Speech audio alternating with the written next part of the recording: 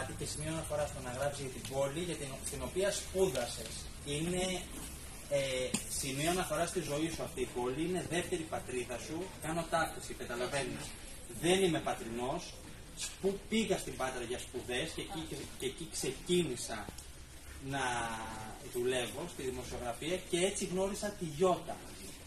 Και στην αρχή την είχα ακουστά σαν όνομα. Η Γιώτα Κοντογεωργοπούλου, που ήταν αρχισυντάκτρια σε μέσα ενημέρωσης και είχα βάλει με το νου μου μια πάρα πολύ αυστηρή κυρία, ε, η οποία πάρα πολύ απαιτητική, η οποία δεν ξέρω έβγαζε το λάδι στους συναδέλφους, ζητούσε πράγματα κτλ. Καμία σχέση. Ε, πρώτα τη γνώρισα, την είχα ακούσει αρχικά, είχα ακούσει το όνομά της ως αρχισυντάκτρια σε μέσα ενημέρωσης, σε υπεύθυνη θέση δηλαδή, Στη συνέχεια διάβασα κείμενό της και τώρα θα σου κάνω μια εξομολόγηση. Και θα σου πω ότι η πρώτη φορά που διάβασα κείμενό σου χωρίς να ξέρω ακόμη ποια είσαι ήταν για μένα μια μέρα που ακόμη τη θυμάμαι.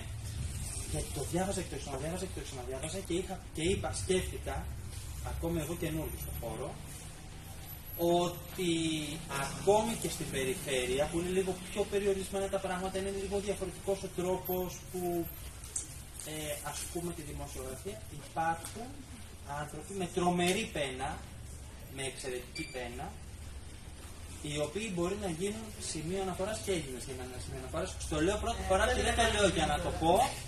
Ή, ή, ε, ήταν στα πολύ ξεκινήματά μου και είπα ναι, μπορείς να συνεχίσεις να δουλεύεις με αξιώσεις σε αυτή την πόλη γιατί υπάρχουν συνάδελφοι που είναι φωτεινά παραδείγματα να τους να τους φτάσεις. Και η Ιώτα είναι ένα, δεν θέλω να πω το μοναδικό, για να μην αδικήσω κάποιον άλλον, ένα από τα φωτεινά παραδείγματα της δημοσιογραφίας στην Πάτρα και σε